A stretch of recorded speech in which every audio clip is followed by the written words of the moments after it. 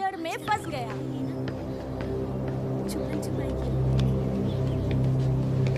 फिर बच गया देखो मैंने सचमुच मारा उसको चाकू से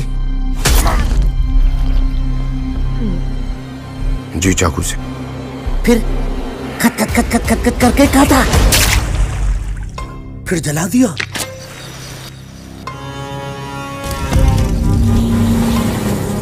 पीस डाला। पीस दिया? वाह। सही कह रहा था। इसकी माँ का मनोहर कहानियाँ।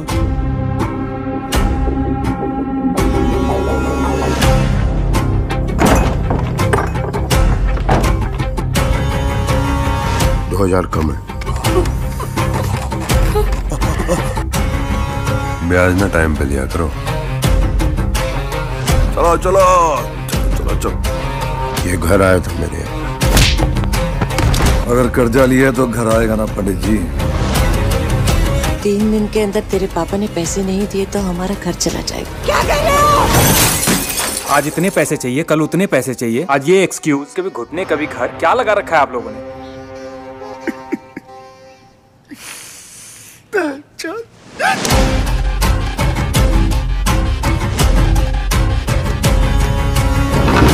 गए हैं वो? आज नहीं तो कल पकड़े जाएँगे। क्यों देवता समान इंसान के पीछे पड़ गए हैं?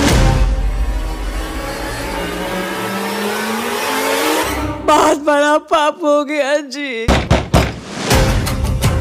इस एपिसोड को इधर ही खत्म करते हैं अभी। पहले पंडित जी का रिमांड मिलेगा फिर उनका कन्फेशन भी मिलेगा। कोई लाश मिली कोई मर्डर वेपन हमारी उंगलियों के निशान। हमने हत्या नहीं की है। हमने वध किया है वध। ये क्या? है क्या है ये? अरे ये चूहा मारने की मशीन है। ये क्या ले आए आप? पूजा पाठ वाले घर में जीव हत्या का पाप लगवाइएगा। पहले वाला ठीक था।